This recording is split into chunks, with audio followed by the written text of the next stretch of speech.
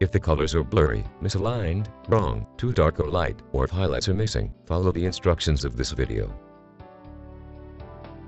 Sometimes, the only way to fix print quality issues in this printers is to force a calibration. Press Menu or Home button.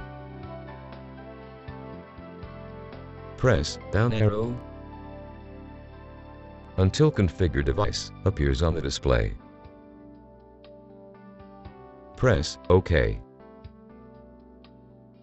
Press down arrow until Print Quality appears on the display. Press OK.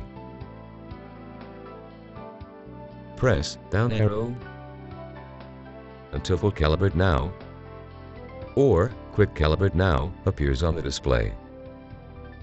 Press OK. The printer will start a calibration. Use the full calibrate now if the colors are misaligned or blurry. Use the quick calibrate now if the colors are wrong, too dark or light, or if highlights are missing.